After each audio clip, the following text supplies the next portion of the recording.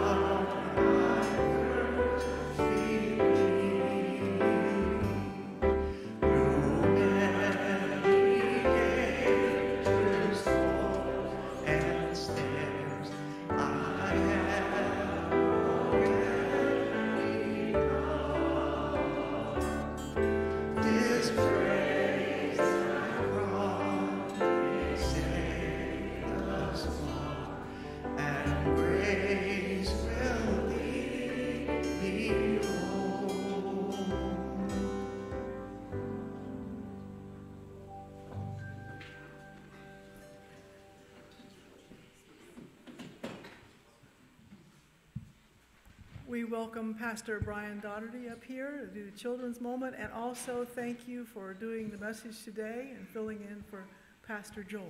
Children, please come forward.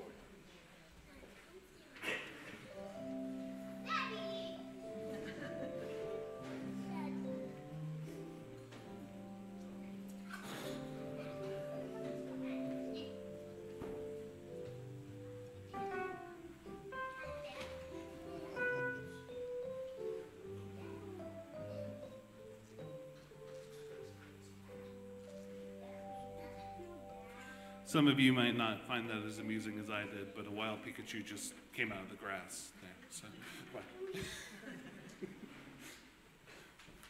Good morning. Yes, that, that was to you and you. Yeah.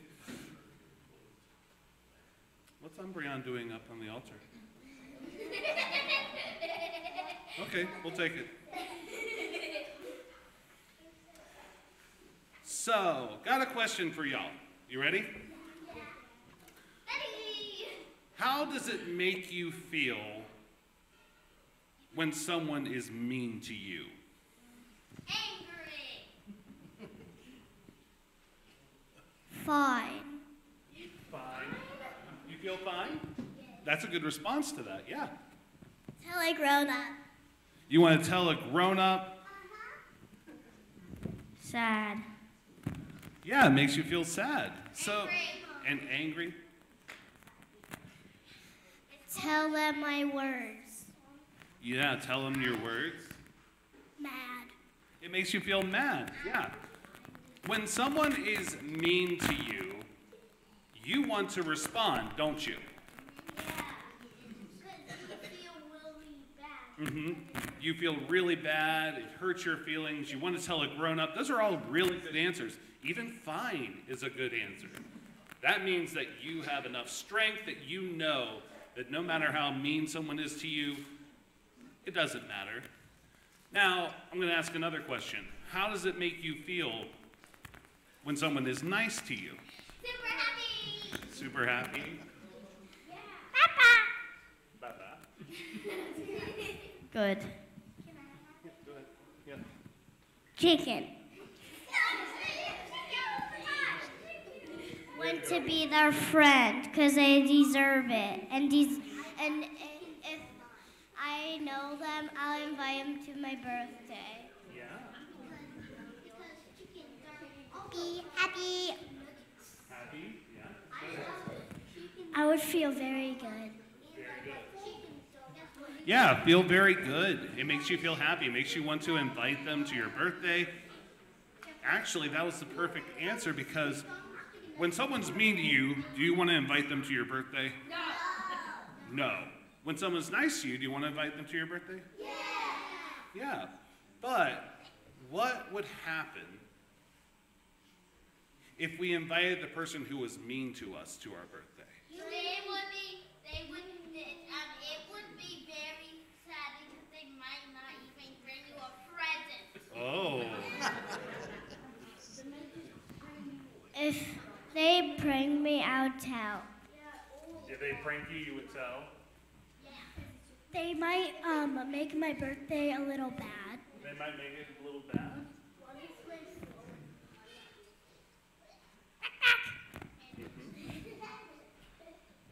I feel like if a person who's mean to me is in my birthday party, he might destroy it. They might destroy it. But didn't you just tell me that if someone's nice to you, that you feel happy? Mm-hmm. Didn't you just say that when someone's nice to you, that they make you feel good? So, what would happen if the person who's mean to you were made to feel good? How do you think they would respond? That's how I made friends with Seren. Yeah. Your friend is Serenity. I think they would say that they don't care. They would say that they don't care, but did it matter to you? When someone was nice to you? If it matters that someone was nice to you, don't you think that would change everything? No? No?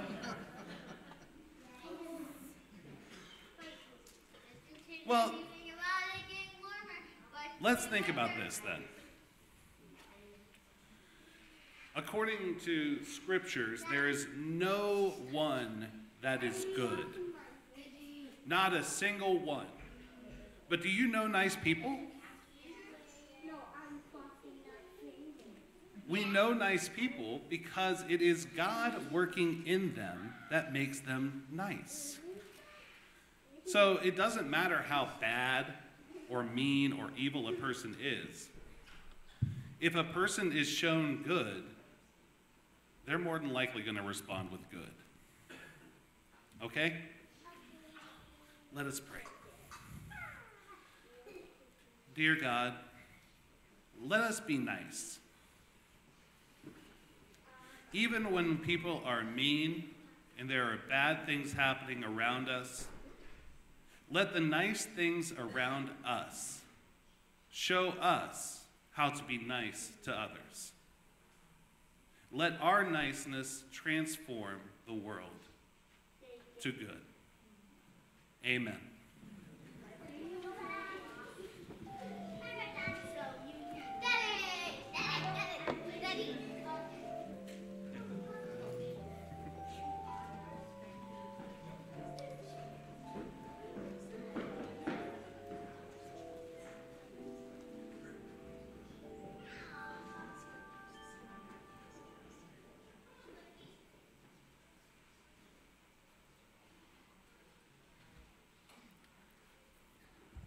Thank you, Pastor.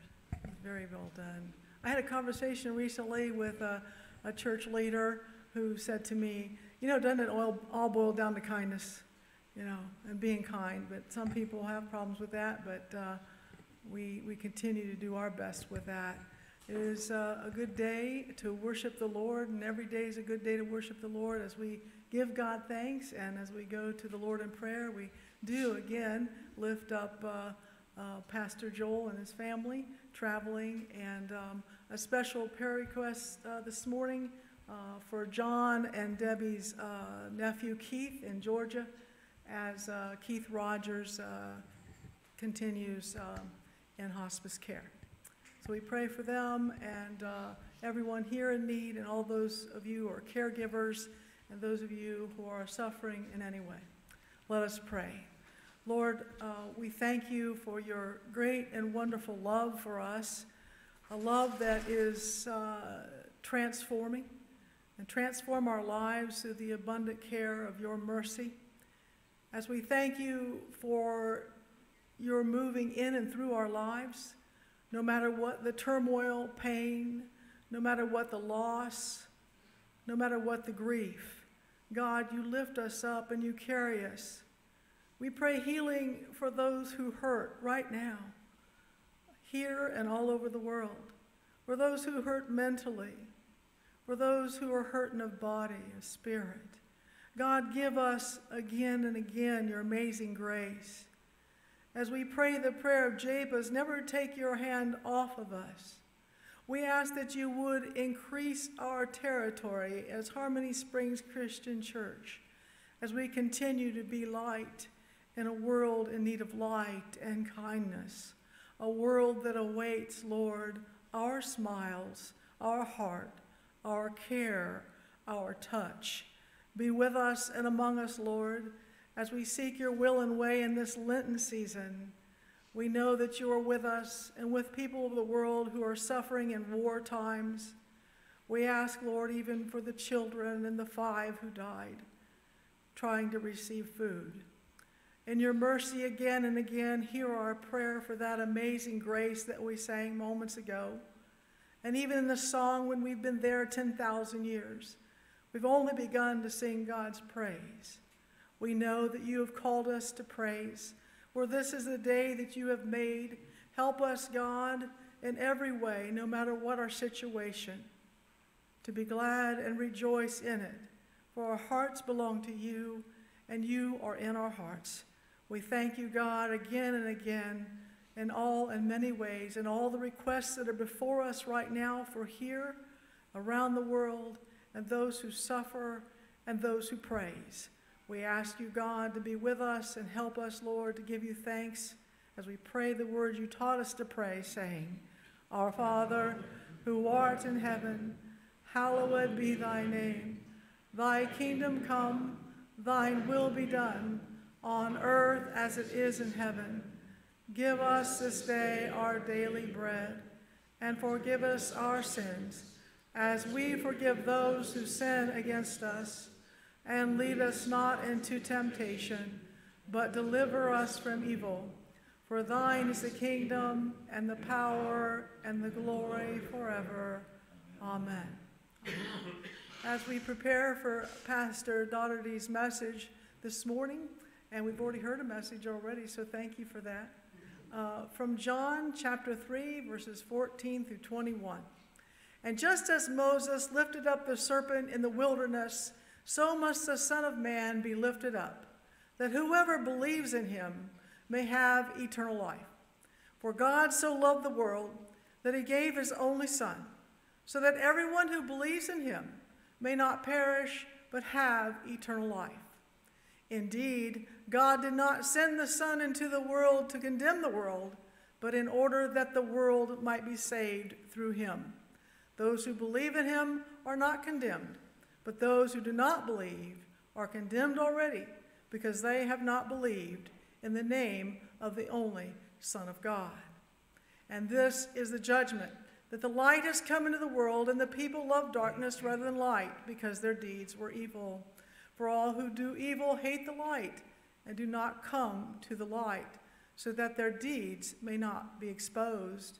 But those who do what is true come to the light, so that it may be clearly seen that their deeds have been done in God. The word of God for the people of God. Thanks be to God.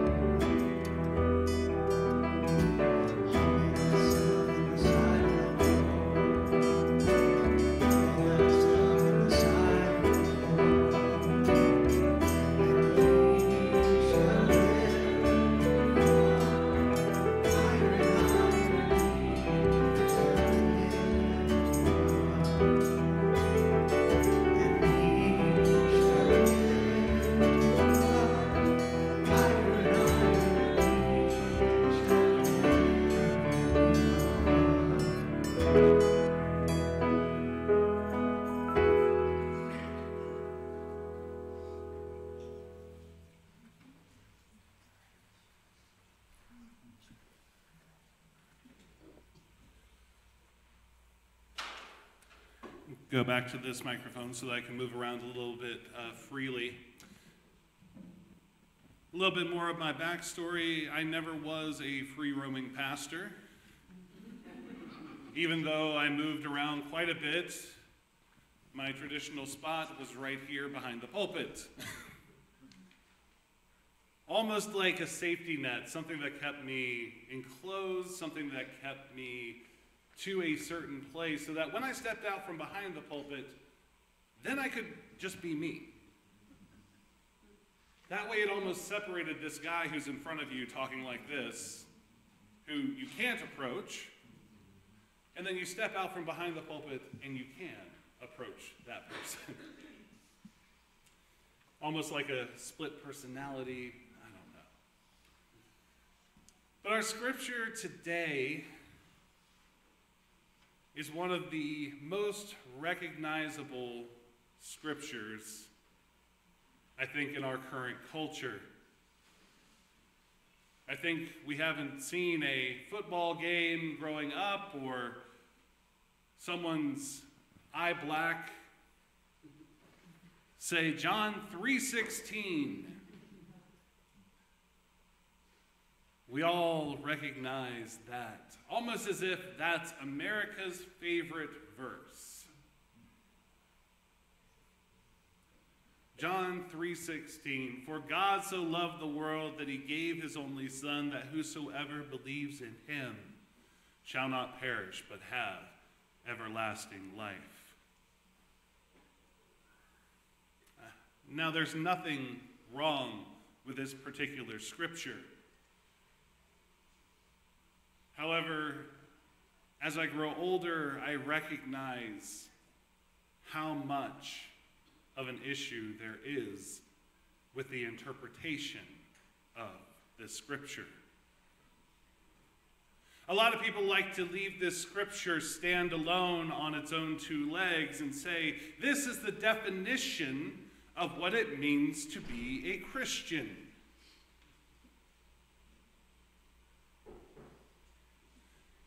Simply that God came down, wiped away our sin, and all we have to do is believe in Him. And that gets us into heaven. That's the key. But a lot of people miss out on the fact that the surrounding scriptures actually help to clarify what the message was actually saying. A lot of people miss John 3:17, which was my father's favorite verse, simply because it did clarify this. Indeed, God did not send the Son into the world to condemn the world, but in order that the world might be saved through him.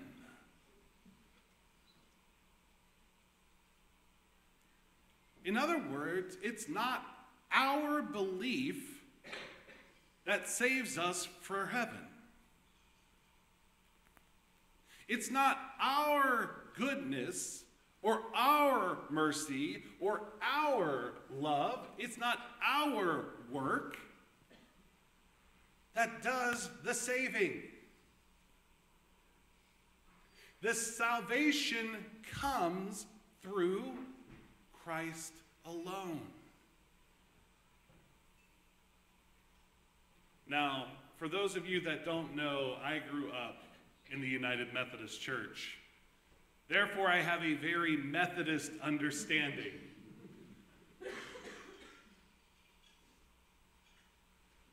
I have a very Methodist understanding that God doesn't always need our permission to act within us.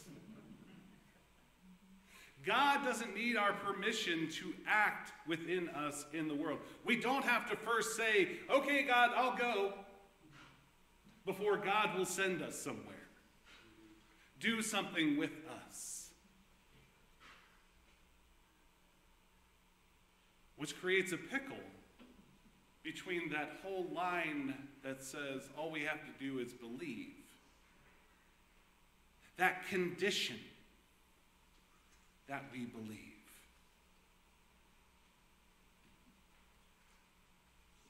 Now, I've had friends of mine who came from different faith backgrounds challenged me on this, saying, No, see, it's right there. It's in the scriptures. The condition. It's, it's what it says. He, you must believe first.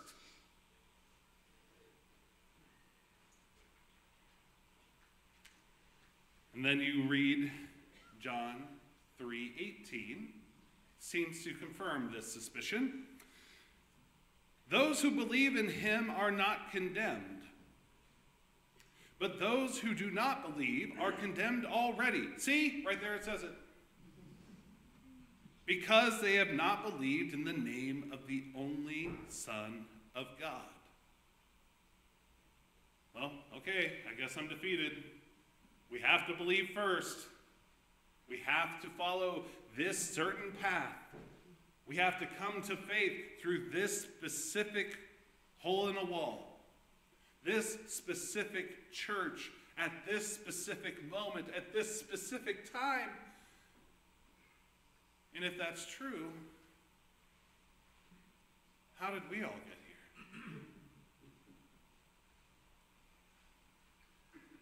Did we all walk the same path to get into our seats today? Did we all walk the same walk to get here this morning? Did our weekly journeys bring us here along some specific path? Or is there more to this story? And this is the judgment. In other words, this is what it looks like that the light has come into the world, And people love darkness rather than light because their deeds were evil.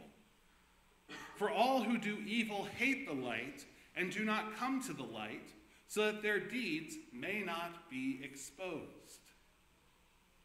But those who do what is true come to the light so that it may be clearly seen that their deeds have been done in God. Go back earlier to that question that I was asking the children. This concept of light and darkness.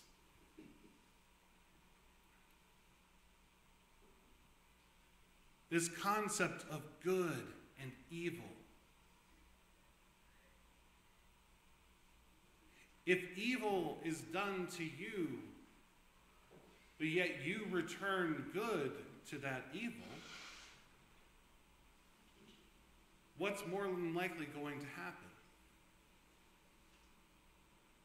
Is the person doing evil the evil? No. The evil is but an action. Humanity is capable of doing great good and great evil. Humanity is possible to do one or the other, or even somewhere in the middle. You see, where I think I confused the children this morning is when you think of something bad being done to you,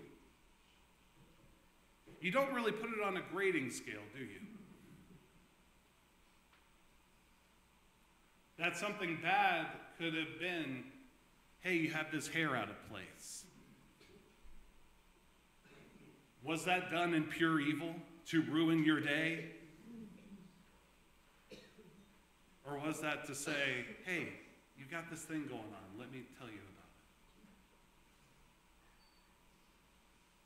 it? People have been in, uninvited to birthday parties for far less.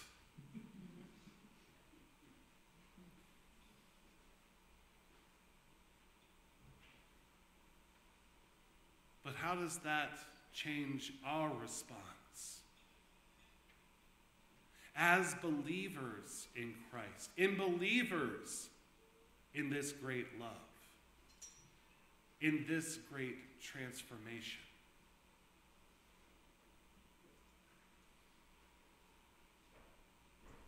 You see, growing up as a Methodist, once again, we didn't believe that you had to do anything for God to act in your life. It was known as prevenient grace. The work of God going before you to pave a way for you.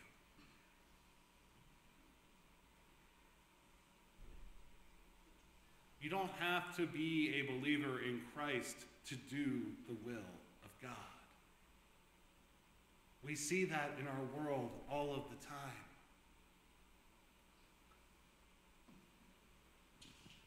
We can see God in the world through all people, no matter their ties to faith.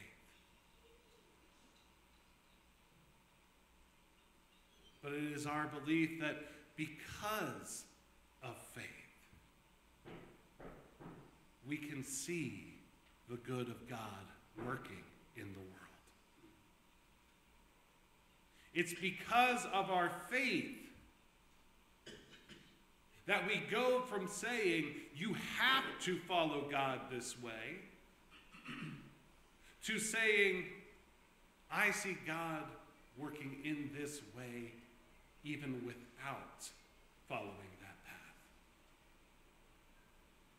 I see God working in the world no matter the condition.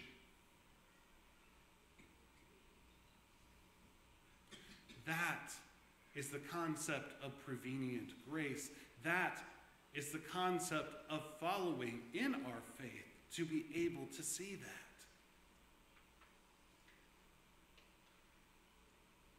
Because the closer that we grow to the light, the more light we are going to see. The closer we grow to the darkness, the harder it is to see the light because the light cannot be where the darkness is.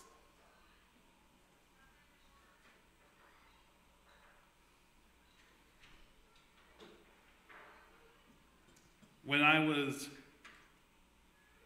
just fresh out of college, I had no direction in life that I was truly going in.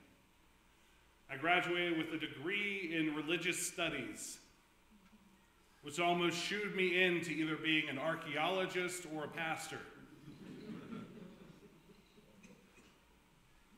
My father had had his license taken away from him for reasons unknown to me at the time, which had me mad at the church.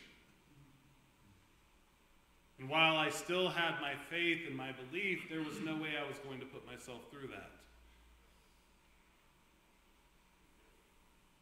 And so I said, I got it. Youth ministry.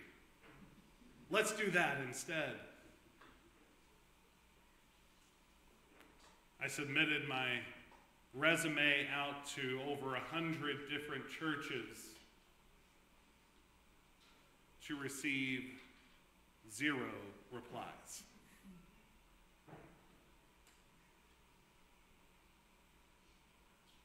And then an opportunity came up in Charleston, West Virginia, on the west side, which, if anyone knows the west side of Charleston, let me tell you, it's the not nice side. It's the dangerous side. That's where all the shootings happen. That's where all the drugs are passed around. That's where all the bad happens. My parents asked me, Are you sure that's where you want to go?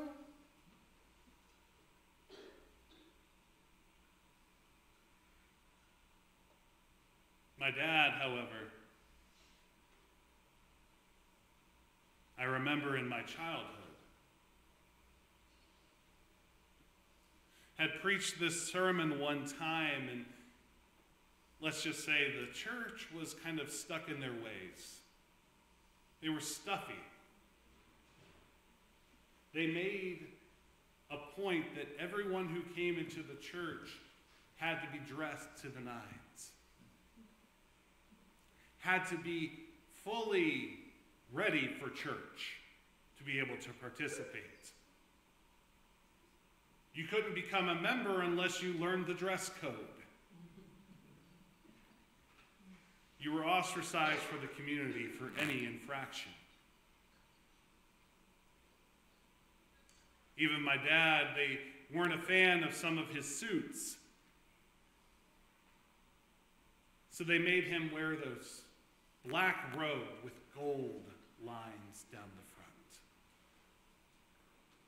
My father was preaching at three churches at the time. This was the only church that required this dress code.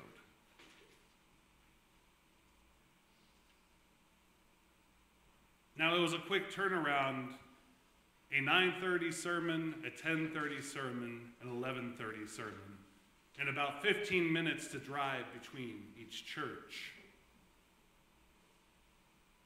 Not let alone the conversations that you had to have. But between one of those sermons, he must have cut one a little bit short because my father went home and changed. Now, he still put on the robe, but earlier in the week, he had hidden a beat up cowboy hat under the pulpit. My mother knew something was up as soon as she saw, as my mother was sitting in the choir loft right next to the pulpit, my father walk up and she could see the tips of his muddy cowboy boots underneath the hem.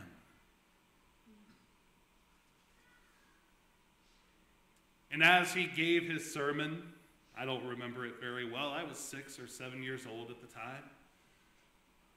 I don't remember many of my father's sermons, to be completely honest, and yes, I was there every single Sunday. But this one sticks out because this was the sermon where my father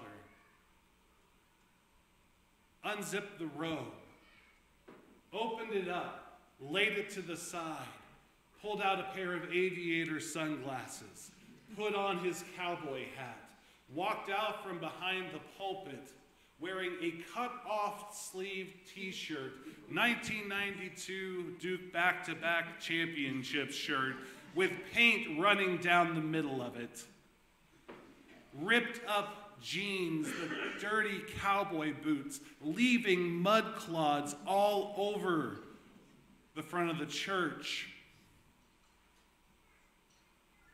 And he said, Would you invite me to church?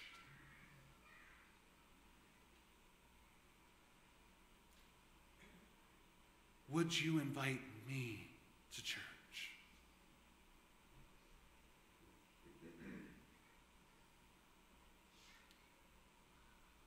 To which then I told my parents many years later, yes, that's exactly where I need to go.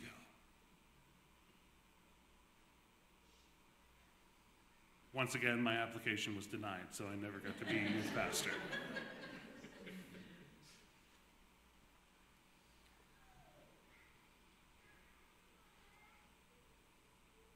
But that led me then in my ministry to continue to say, yes, wherever I am is where I need to be. Because it's not a place that defines what good can and cannot be done. It is the people that God has placed there that defines the good that can and cannot be done.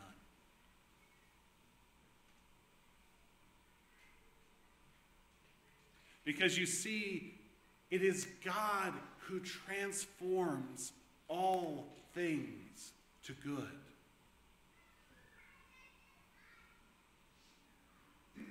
And as a believer in Jesus Christ, as someone who follows the scriptures and says, Yes, I believe that Christ has covered my sins and therefore has redeemed me.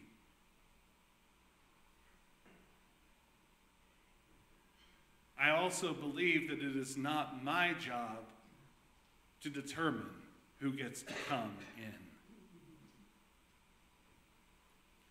It is God who determines what good is done in the world. It's not a determination by me. That person did bad things. So what? God can redeem that. That person does evil. Yes. But that person is capable of good as well.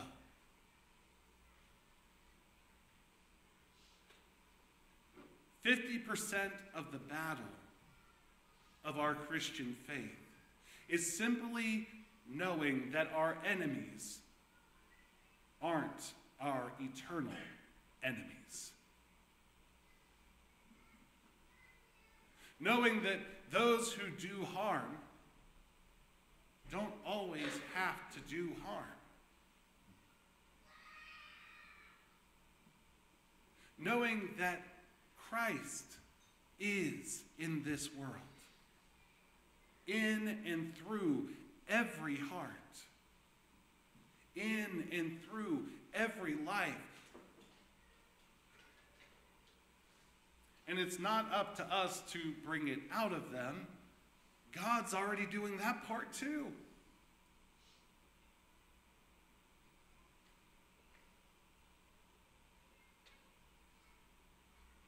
all that it requires of us is to be who God made us to be and expect that God is going to do the same in others.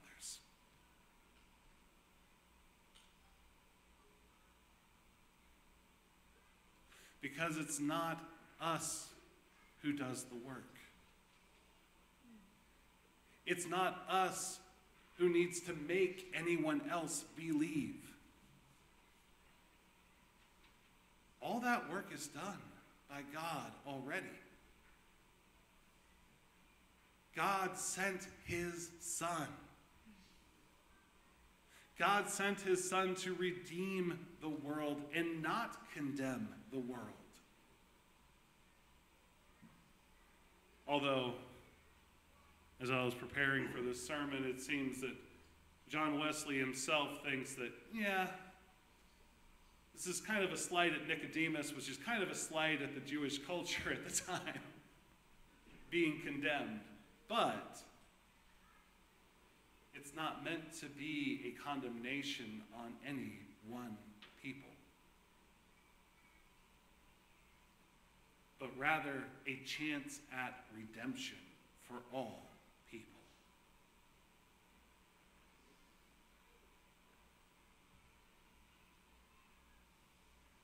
And this, this transformation doesn't happen through us, but through God alone.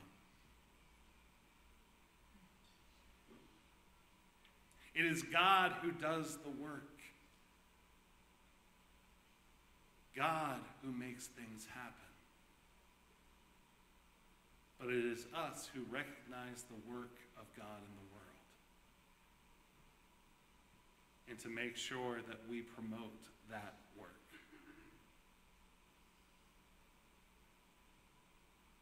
Let us pray.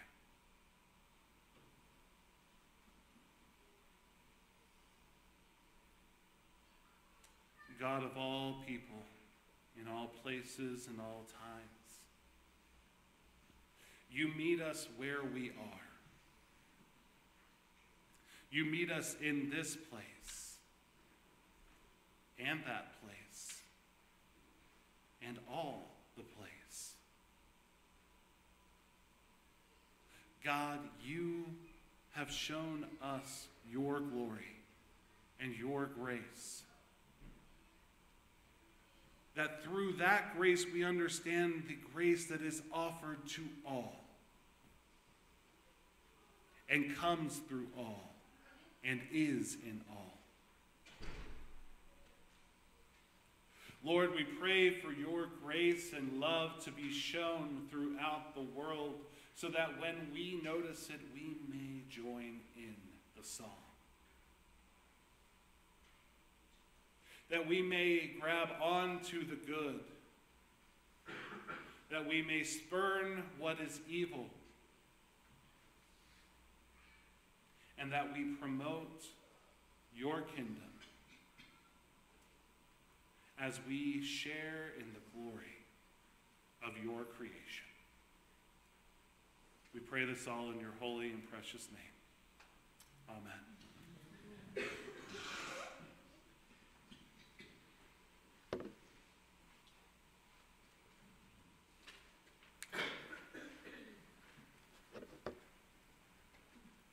Pastor Jennifer, would you be willing to come up at this time?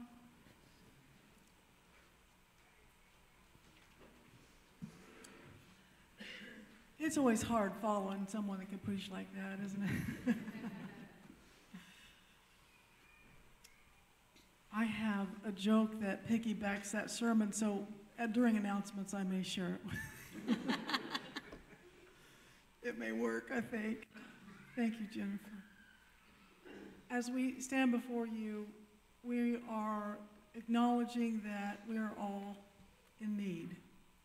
And I can recall um, a professor in seminary who literally had us stand when he walked in, and we were to quote a verse of scripture to him from the book of Romans, and all we were to say was, There is none, no, not one, there is none, no, not one.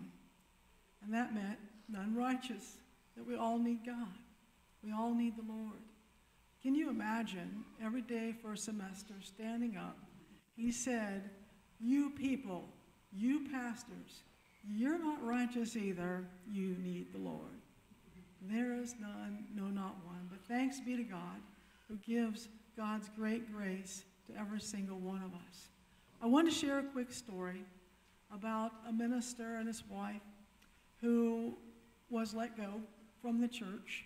And this was in, when I asked the minister what year was it, was that in the 50s or the 60s? He said 1990. I said, what? He said that he had a certain time he was to be in the church every, every morning. And a particular farmer in the church fell ill, uh, a cow farmer and a dairy farmer, and he said that he would go and milk his cows for him every morning. Well, when he was asked by the church leader why he was late every morning, he said, Because farmer so and so, I'm milking his cows at 4 a.m. every morning to help him out since he is ill. And the elder said, That's no excuse. And they later let him go. Spirituality acts, doesn't it? Love acts, and love wins.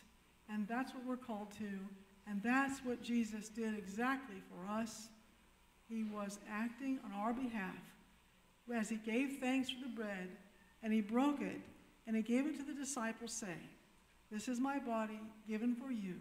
This he said, Do in remembrance of me.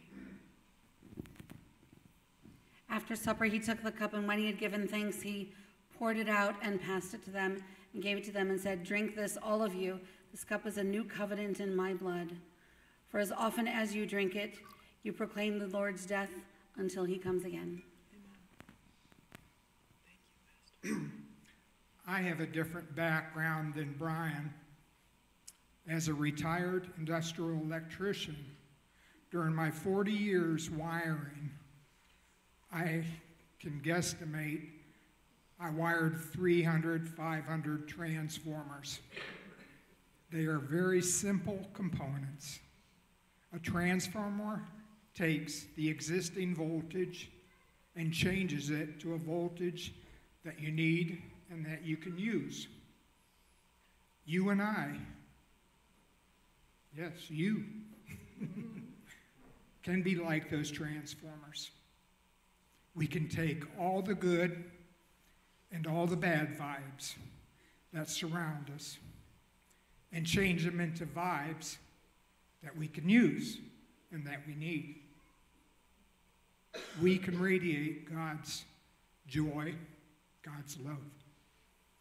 Let's pray. Dear Creator God, as we partake of this sacred meal, let's reflect on Christ's sacrifice for you and me. May it nourish us and bless us to do your will today and every day. In your name we pray. Amen.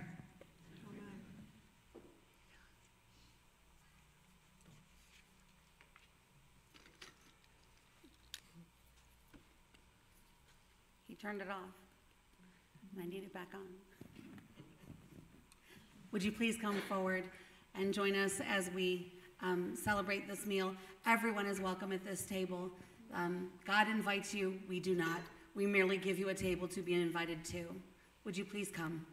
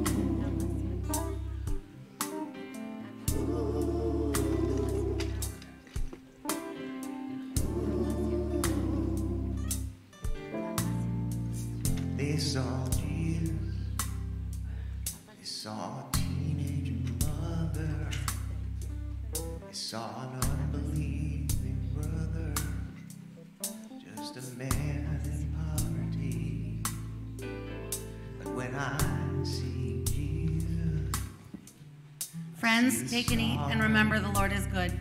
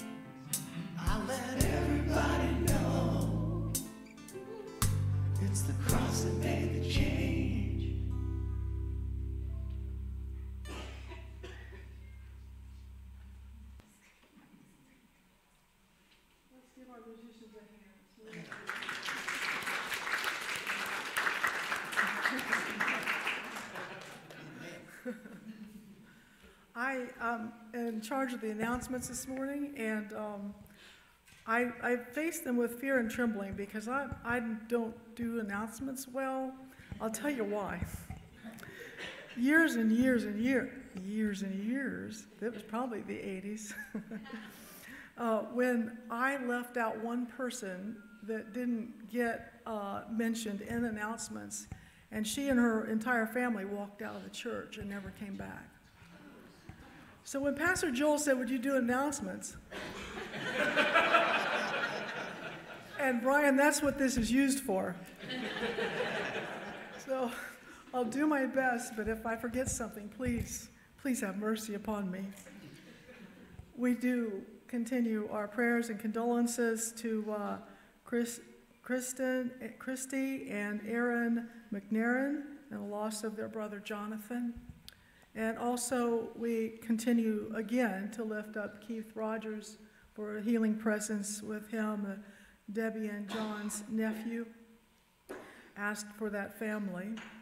Uh, prayer on the property each Saturday at uh, 10:30 a.m. Also during Lent, Carol Cadwalder will be leading Bible study from 11:15 until noon each Saturday. Also, if you would like to remember someone with our card ministry, uh, send a card. Um, let uh, Tanya Blankenship know, and we thank her for this wonderful ministry. Also, we've started a meal train for Mads and Karen Colley. If you would like to help meals that are prepared and ready to cook or reheat, or gift cards, please let us know if you can do that for them. St. Patrick's Day Bingo Bash, March 16th. Someone has rented a church. Does someone know more about this than I do to speak to it? It says here focus on rescue and rehabilitation. I believe that's for horses uh, to raise money for them uh, that, that need rescued. Um, it says get ready to shout bingo. Thank you. I was praying that that would happen actually, that someone would. Again, next Sunday, March 16th from 4 to 9, our church is invited. And you can get tickets online, I would assume also at the door, I'm not sure. Also, Girl Scout cookies will be sold next, uh, next Sunday. I don't know how much, how much are Girl Scout cookies now, does anybody know? Six dollars. What? Six. Six dollars? Okay. Bring, bring cash or they have credit cards as well. They Bring cash or credit. Well, they, they've jumped up. Cash is preferred, because if you use a credit card, that takes three, per- thirty, yeah, three percent of that price. Okay, So all right. Delicious, I've already consumed two boxes. You already reserved two boxes? Little Girl Scouts will pull out their phone and just swipe your card for you. oh, and, and Donna said, don't forget, we need candy to fill 100 eggs. So please bring candy the next couple of weeks and uh, for the Easter egg hunt. So bring candy for that. Anything I'm missing, please don't walk out. I have one, on an unapproved message, and it's probably not on your list, so I won't walk out. Okay. But choir will rehearse after the service today. All right, choir after service? And Jen? I won't walk out either, but just to remind, the Women of Harmony Springs is Tuesday. Women of Harmony this Tuesday, okay? 10 to 12. Yes, Max? I just wanted to say thank you to everyone who's donated or dropped on food and whatnot for us. It's taken a lot of stress off of our, off of our heads while we figure out what's going on medically. Um, should have some answers after testing tomorrow. Okay, more answers after testing, and Matt says thank you, Matt and Kara, for, for the food train. Anyone else? My cheat sheet says we're supposed to set the clocks back an hour this morning, Yeah, just making sure everybody. yeah, y'all, y'all know we're, set the clock back. You guys made it, you made it. Oh, set it up. Yeah, I'm here. So glad. Yeah. Please wear green next Sunday, St. Patrick's Day, if you have it. Or orange. You can look that up if you want to wear orange. look that up later, green or orange. Girl Scout cookies. Uh, anything else? I can remember my, my late husband said one time he was uh, pulpit supplying, uh, filling in at a church, and it was the day of the time change. He didn't realize that it, the time had changed. He'd forgotten all about that. When he got to the church, there was someone up in the pulpit preaching. He walked in and said to the deacon, What's that guy doing? He said, Well, he's preaching for you. You didn't show up. he said, Oh, okay. All right. Okay, Do you guys want this joke or not? I don't know. Were, were you already remembering that? I didn't know if you would remember. Well, okay. Brian, this one's for you. I'm always in my head going, should you or should, should you? Did anyone of you ever do that? Should I? Should I? Should I? All right, so this guy walks into the church. Oh, we've all heard that one, right? he walks into the church and uh, he's wearing cowboy hat and chaps, a vest, the whole nine yards. And uh, he walks in, he sits down, and after the service, uh, he thanks the minister and and uh, nice service, uh, pastor. And uh, the pastor said, "Well, thank you, but uh, you know, look at how you're dressed." He says, uh, "This week, I want you to pray about how you dressed for church today." And the cowboy said, Well, okay. So he prayed all week, and Sunday he showed up in the cowboy hat, the vest, and chaps, everything. And he saw the minister. The minister said, I thought I told you to pray about how you were dressed. And he said, Yeah, well, I asked God, how should I dress for that church? And God said, I don't know. I've never been to that church.